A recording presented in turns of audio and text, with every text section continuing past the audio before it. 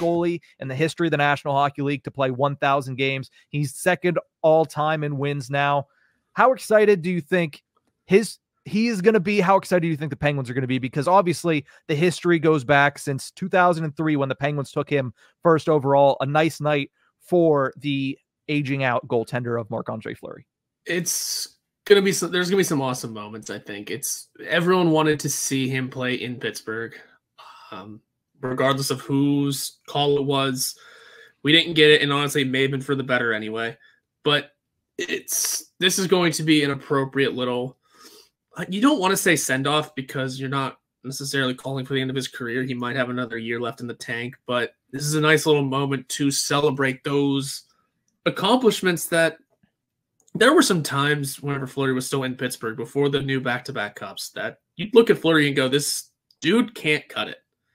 Even when, you know, even after the 09 cup, in between those uh, cup years, there were some, you know, some games, some stretches in there, and then the playoffs would happen where you really wonder what this goalie is, who Marc Andre Fleury is. Mm-hmm. Um, but one thing that was certain is that he still knew ways to win. He still knew how to shut it down uh, when he needed to and when he could. And then, you know, he leaves. He When helps help regardless of Matt Murray being around. Marc Andre Fleury helped with those 16 and 17 cups in mm-hmm. the right ways. Um, and then he goes on to Vegas, carries that team to a cup final in its first year of existence. Mm-hmm. You know, we don't need to talk about his exit from Vegas. Everyone knows that ah, Chicago was an interesting one, and now here he is in Minnesota breaking these records that I probably wouldn't have believed he was going to break back in the day. I mm-hmm. straight up wouldn't have. I liked Fleury. I just don't. I don't know. Like, I don't remember really what I thought of him. I know I liked him, but I don't know if he was th- going to do all this. And this is incredible yeah. stuff. Yeah, I think we can all agree that he was probably a Penguins Hall of Famer when he left Pittsburgh mm-hmm. in 2017. But what he's done since, I think, has really got him into the Hockey Hall of Fame Absolutely. stratosphere. And I don't think he was a Hall of Famer as far as the, the National Hockey League in the world. I don't think he was a Hall of Famer when he left Pittsburgh, but he's certainly a Hall of Famer now. Uh, yeah, it would have been a harder discussion then. I, I mean, mean, he went and took Vegas in their first year, as you mentioned. Yeah. He won a Vezina Trophy at the yeah. age of like 36. Now that he's patched Patrick, uh, past Patrick Roy for second all time, he's the fourth goaltender to ever hit a thousand games. The longevity and the ability that he has had to play well mm-hmm. late into his career. We'll get into it not as much this season, but play well late into his career and be a Vezina goaltender yeah. at one point very late in his career, I think that is what has cemented him as a maybe not first ballot, but certainly somebody who's going to heavily be in the conversation for a Hall of Fame spot whenever his career is all said and done. Yeah, those two stats alone, you can't you can't not put him in with those two stats alone. Straight it, second all time in wins and a thousand yeah. games played as a goalie. Those you can't keep him out of the conversation for sure. Oh yeah, like, he could have like I forget what the number of wins is but he could have that that exact number of losses, if not more. You still have to put him in. There's you have no choice. Goaltenders don't. There's not a lot of goaltenders in the Hockey Hall of Fame. Yeah, but number two all time. Yeah, that's true. You can't not. And then attack on the thousand games played. He's only one of four, if yeah. not three goalies to do that. One of four. He's the fourth. Yeah, you you can those two alone you can't not. He could have awful backing numbers. He could have awful loss records. Mm-hmm. even with those two he could have never won a cup and still do it i'd say personally because you can't look at the because you can't have someone down the line look at the all-time wins numbers.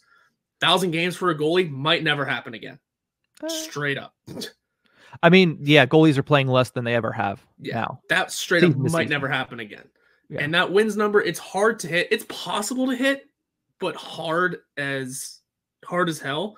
So you look at those two stats and go, how is how was he not? Yeah. He almost has to. Then you because now you do tack on a well-deserved Vezina late into his career. You mm-hmm. tack on one cup, one solely by himself. You tack on two where he had a big helping hand in. And you tack on a Stanley Cup final appearance for in that third in that year after or sorry two years after uh no that that was the year. I'm yeah. confusing everything. Three straight in stanley cup finals. Three state cup finals appearances and he had a huge helping hand in one and a half of them i'd say he you know you you can decide how you want 16 17 yeah. But it's all of that adds up to it the more you talk about it, the more it's first ballot type stuff. Mm-hmm. Yeah. Now let me ask the question. This is the question that's always going to be asked. Obviously, the Minnesota Wild are outside of a playoff spot. They've had a rough season as of right now. The question is going to be asked over the next calendar month Will he waive his no move clause? Will somebody be interested in bringing in Marc Andre Fleury? He might be a big name on the trade market. As we all know, it is going to be a goalie heavy mm-hmm. trade deadline season. The question then becomes after this year, because his contract does expire, one more year? And if so, is that year in Pittsburgh? Because I mean, the Penguins right now have a uh, no need to bring in Marc Andre Fleury right. as it currently stands today. But Alex Nedeljkovic might be pricing himself out of this team. And if mm-hmm. he does, I wouldn't want to go to Magnus Hellberg as the number two. I like him as the number three. There's an opening there where Marc Andre Fleury can settle himself back in where it all started 22 years ago let Joel Blomqvist kind of get one more year to stew in the AHL. It's yep. I don't know. What What do you think? Bring him back one more year? Eh, listen, this first of all, ever since he left in 2017, it's been asked too many times. How many years has that been? It's been asked every year since. But I, I, will say this is probably the most realistic here. Suddenly, it's and then every year it's become more and more realistic. It, it more and more realistic. Yeah, as time has gone on, um, it's yeah. become more realistic, and now it, it just feels like it's lining up to be as as possible as it's ever been. But would you be interested in bringing him back? I mean, he has a 295 goals against average and an 897 save percentage this season. Not great, but again, not on the best of Minnesota Wild teams. So, right. where do you stand on it? Um, and maybe you know coming back to Pittsburgh for that last year kind of rejuvenates him a little, and he's maybe. able to. You, you never As a backup. Goaltending's weird too, man. You yeah. just never know. Um, I I don't know how much longer I can toe the line. I don't know. I straight up I don't know because yeah. there's too many factors leading into it. You want the Penguins to still be able to win even next year. Mm-hmm. I will say though, I'll say this: if the wheels fall off and Kyle Dubas has to start stripping this team down, screw it, go for it. Screw yeah. it. You because at, at, that point you know Crosby's sticking around, you know Malkin and Letang are sticking around. You don't know about Guentzel. At that point, what do you have to lose? The what do you have to lose? Yeah, the old gonna... Andrew McCutchen back to the Pirates last year. I, that did not help that much with ticket sales. It, well, it helped like for a month, and then whenever maybe started... jersey sales again. I I don't know. Wasn't sidebar, and then we can finish this episode. Didn't they not at first make his jersey in the City Connect uh, style? I don't remember. I thought I saw I, something I that like when they released the City Connect jerseys, they had like the Ke'Bryan Hayes, the Bryan Reynolds, and maybe one more, but they did uh, Bednar, but they didn't have Kutch. I'm almost positive that's how it started. I obviously you can always get it customized, and I think they have them now. Yeah, but I think off the jump, I don't think they had it. I remember looking for those jerseys because I own one.